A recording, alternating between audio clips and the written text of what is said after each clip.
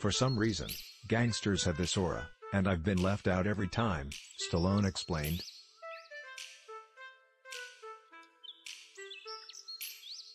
I remember going into audition for The Godfather as an extra, one of 250 people at the wedding.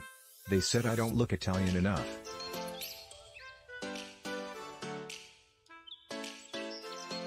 Sylvester Stallone attended the Tulsa King premiere in New York Wednesday.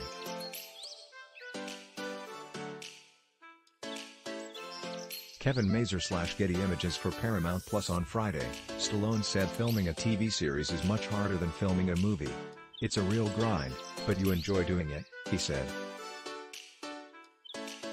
He noted that in the amount of time it took to film Tulsa King, he could have filmed five back-to-back -back sequels of Rocky.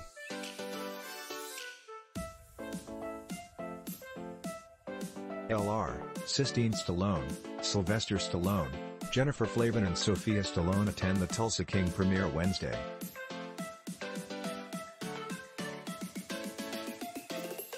Kevin Mazur slash Getty Images, Tulsa King tells the story of Dwight Manfredi, Stallone, as he rebuilds his life after being exiled from his family by a crime boss following a 25-year prison stint.